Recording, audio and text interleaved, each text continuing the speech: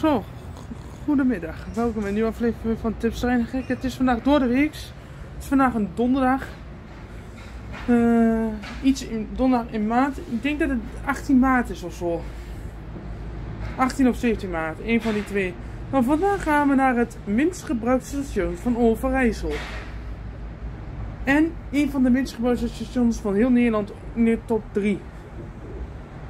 Want je hebt nog meer minst gebruikte stations in Lo Loppersum. Nee, nee, niet Loppersum. In ieder geval in het gewoon noorden heb je nog een paar twee minst gebruikte stations. Dus voor mij Hinderlopen, juist. Komt wel op de naam. Hinderloop en Kwalp op Meren. Kwalp op Meren. Die zijn nog, die hebben nog minder reizigers. En dus laat ik vandaag eens naar het minst gebruikte station van, Zin, van Overijssel heen gaan. En het is Enschede Kennispark. En het is hier niet ver van Hengelo af. Dus laten we dat maar doen. En dat zijn jullie ook niet gewend. Dat is door de weeks. Betekent dat we tweede klas moeten gaan zitten. O jee, tweede klas. Dan mogen we lekker plems nadoen. Dus echt veel kijkplezier. Centers, kap eens met die, met die vertragingen elke keer met die bussen. Het is weer raak. De bus is nu drie minuten te laat volgens de NS-app. NS, Sintes of Keolis. Waarom? Oh ja, en de grap is. Ik ga zo met een Duitse trein mee. Want vanuit Enschede naar Glanenbrug en Enschede Esmaken komen alleen maar Duitse treinen. Dus de grap is dat we straks met een Duitse trein mee mogen reizen.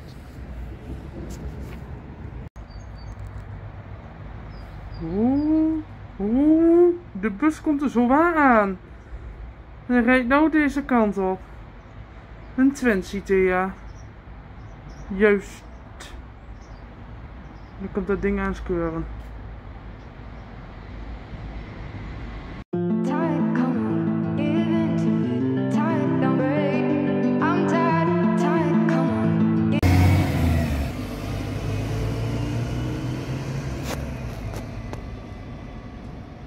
Wat doet dat ding hier?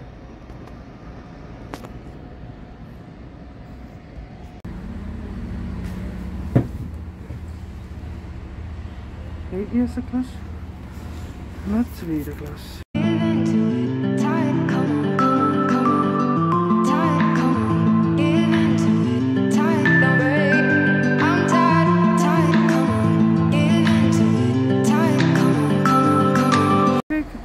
Ons zo naar Enschede de Eschmaking gaat brengen.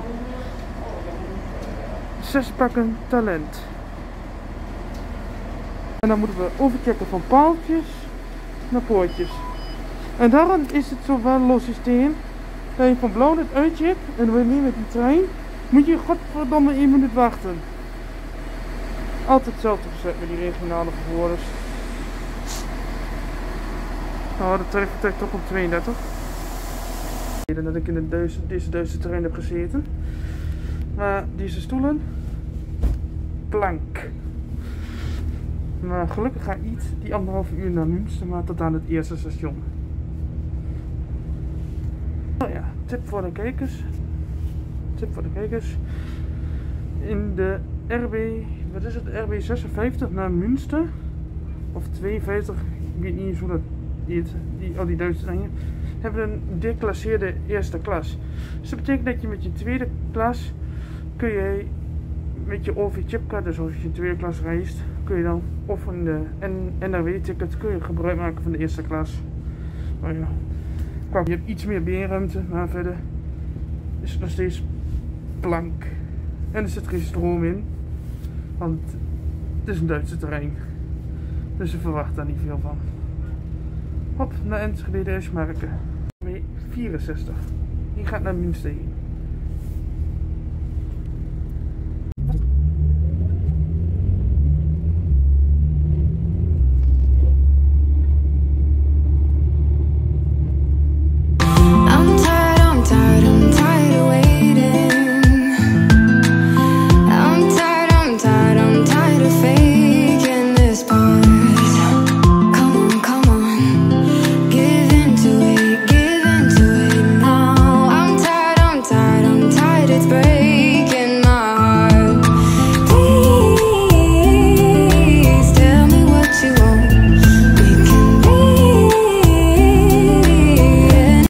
kijkers. Station Enschede S-merken. Minst gebruikte, een van de minst gebruikte stations van heel Nederland. Ik ben benieuwd wat hier allemaal te beleven is aan dit station. Nou, hier, het is geen tussenricht top 10 station, dat is zeker niet. Maar het is wel een heel mooi, ja, rustig geven oord in Twente. Station Twents Landschap. En aan die kant is een industriepark. Ik zie hier een Blownet kaartautomaat. Die je in vier talen kan installeren. Een hele grote NS veiligheidscamera. Van NS Security uit Utrecht. En een spiegel. Misschien denk dat die spiegel te maken heeft met Duitse treinen. Dus eigenlijk alleen hier. En nog een abri. Eén abri. En dan gaan we het station verlaten. En dan ga ik jullie zo meteen even een Wikipediaatje doen. Oh ja. Zou ik je vertellen dat dit station ook bijna net zo oud is als, als mijn leeftijd. Dit station is namelijk in 2000 geopend. Deze spoorlijn naar de tak van uh, Gronau naar uh, Enschede. Dus, uh, dus dit station is nog niet zo heel erg jong geleden. Dus ja. Dan hier hebben we nog weer een voorziening. Een trap. Maar wij gaan via de rolstoel waar geen regeling is.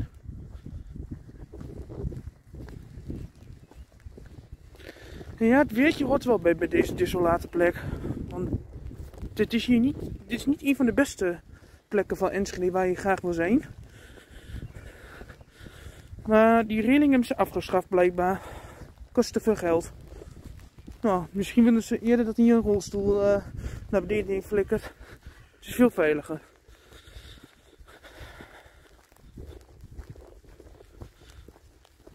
Zo.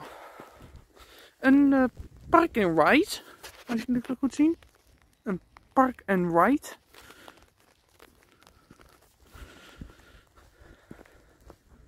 Nou, een stukje smokkelen.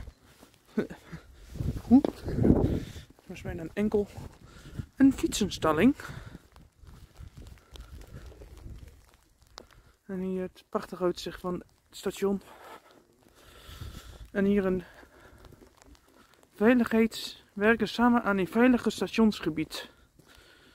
Zelfs de Duitse Bundespolizei en Noord-Rijn-Westfalen politie tekenen dit. Hmm, zo regionaal zijn we hier. Alleen, ik denk dat ik maar eens even een veilige abri ga opzoeken.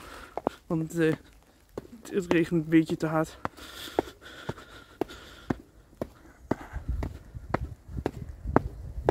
En dan gaan we even een Wikipediaatje doen over dit station.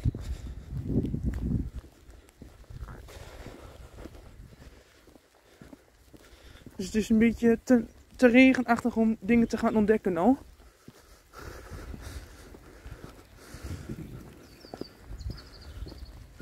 Kijk, en we hebben hier Duitse raceinformatie.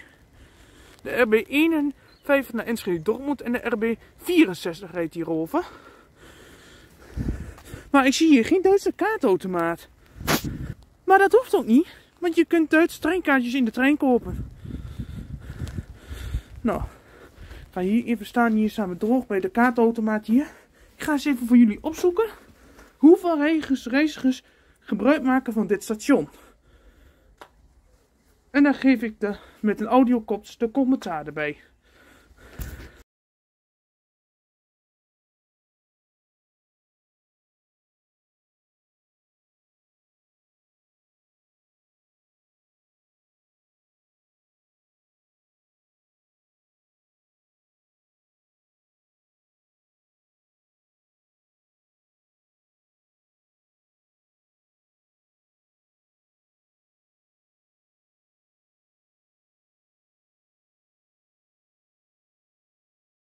Deze station was ook nummer 1 van de minst gebruikte stations, maar er gebruiken 57 reizigers per werkdag gebruiken hier, maken hier gebruik van. Het is niet veel.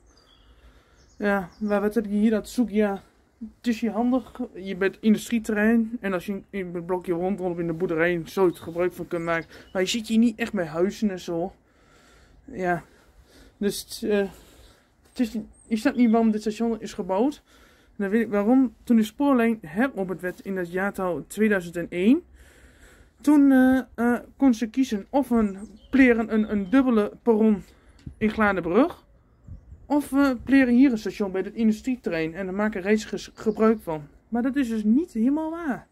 Dus het is een van de minst gebruikte stations van heel Nederland. Met, kan ik proberen. Dus dat is wat jullie even kunnen zien, even op mijn Wikipediaatje, die ik even jullie over, over, alles verteld heb over dit station. En zeg ik, wil je dit station ook bezoeken? Doe het dan niet als het regent. Want dan kun je niks doen. Dus sta je de hele tijd hier te schuilen hier onder een aperie. Dus een tip van Flip, kom je dus niet als het regent. En verder is het wel een rustig stationnetje. Nou, mijn plan was om uh, zometeen naar uh, Gladenbrug heen te lopen. De laatste station, het oostelijkste station van de, van de oostelijkste station van Nederland.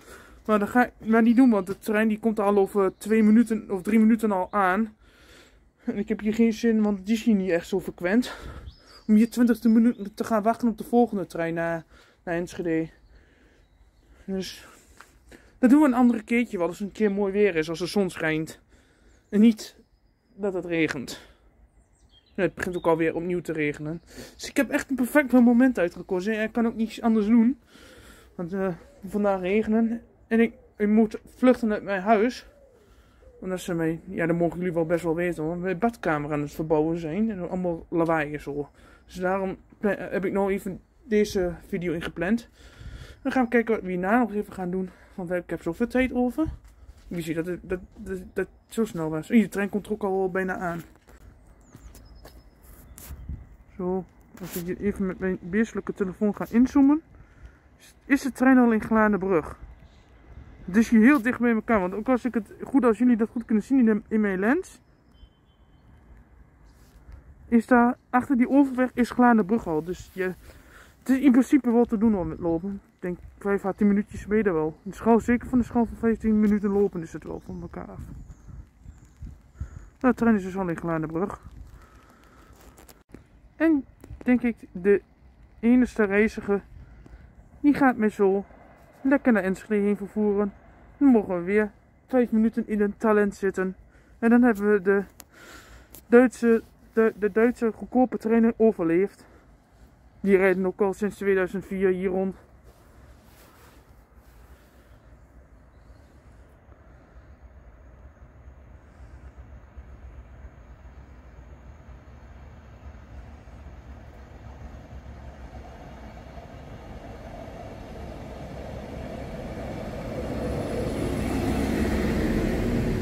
Kijk, dit is de trein uit Dortmund.